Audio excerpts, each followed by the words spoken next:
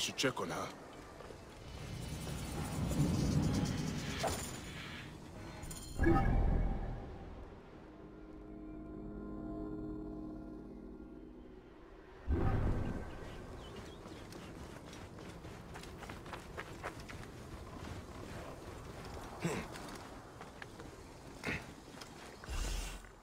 Who are you? What are you doing? Stay back or I'll jump. You aren't the first person to try and persuade me. Easy. That is a long way down, even for me. It doesn't matter. Nothing matters anymore. The Scorpion took my husband's life. There's nothing left for me now. You could find the scorpion that killed him and kill it. Are you mocking me or trying to be cruel? Hey, even bitter laughter is better than death. Why don't you step away from the ledge, huh? We can talk.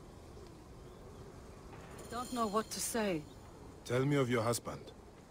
We used to come up here to watch the herons. Two of them built a nest together in that tree. We watched them bring fish for their young. We dreamed of our own children. And you are sad because you did not have any. You're not very good at this, Medjay. You're not making me feel any better. There is no way to make you feel better. There is only tomorrow. And then the next day. One moment at a time. What you say is true. I just don't think I can face it. I want to show you something. I will return soon. Hey, try not to jump. There were some herons nearby, down by that tree. I've got what I need. I should give the feather to the girl.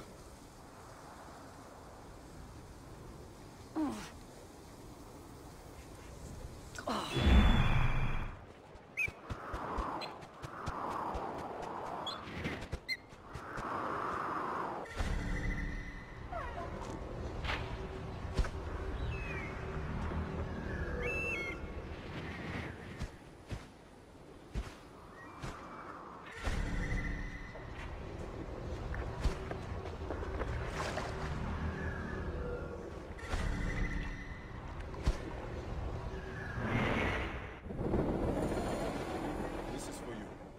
A heron feather, why? It is a Siwan ritual. Feathers mean a lot to us. Anubis will weigh all our hearts when we die against Ma'at's white feather. Yours, mine, our loved ones. I know what you're doing. This feather is for my afterlife. Your husband will meet you in the field of reeds when it is time. But it is not a place to rush to. He would want you to live now and be happy. Yes, you're right. He would. I should thank you for this gift.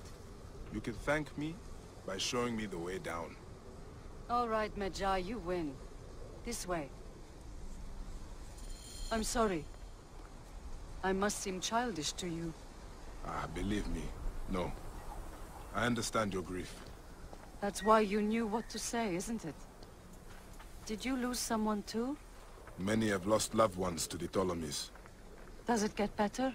It gets better. But you will never be the same. Yes. I already know that. What is your name? I am Tua'a. I am not from here. I come from Crocodilopolis. I am Bayek, from Siwa. What are you doing in Soknopaiou Nesos? You're from Siwa? I can tell. You're so nice. Your people are kind. I didn't want to waste my life sewing and weaving for my father. Then, I met my husband and we eloped. We didn't have much, but we were happy here. You could return to your family. They will miss you. You could be happy again. I can't go back to sewing carpets. Besides, my father will never look me in the face again. Few fathers would turn away the child they thought they had lost. Leopards! Stay back.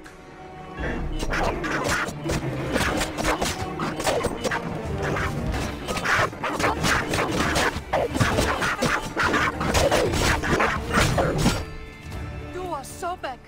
I thought we were dead. Are you hurt? No, but that was terrifying. Death isn't so desirable when you really see it. I guess I do want to live. Now she wants to live. Hey, that is good. But we should move before hyenas come for the carcasses. Could you take me to the docks? Decided where to go then? I'll find that scorpion that killed my husband. now I think I know what to do. I'll head south, maybe even back to Crocodilopolis. I've always wanted to work at the theater. This place has too many memories for me. Do not forget your family. Your father will miss you, whatever you think.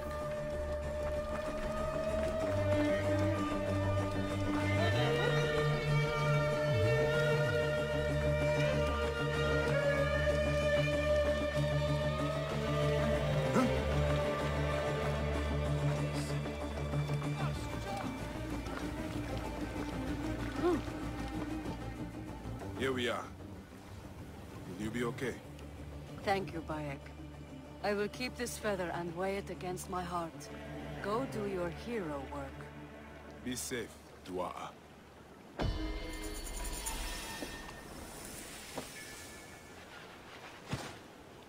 Go save the world, Medjay.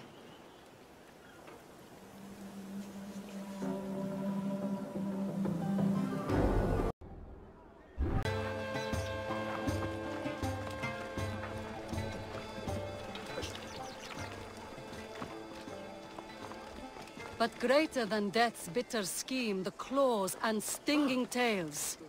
A feather white and gold as light to weigh on Ma'at's scales. The path is steep. I climb, I climb with heavy feet. And heavy eyes, I weep, I weep with poisoned tears. To reach the peak, I watch, I watch the broken nest. I make the leap and fall, and fall, and land in peace. Hello, Tua'a. I see you have taken up street performing. Bayek! Not really. I just find the poetry reading comforting. It helps me. I am glad to hear it. I've yet to work up courage to face my father. One step at a time. I have to go. I have another reading. It's childish stuff, really. Don't judge harshly. I make no promises. Goodbye, Tua'a. What is this ache? Oh, that's right. The stump of my lost innocence is aching sadness, and I am awake while the rest of the world sleeps. But I am all right. It's okay. I only wish the love that died had not left brightness to trouble night, with the memory it keeps.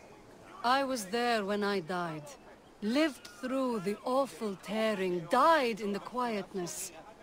And death is fair. Only horror sweeps.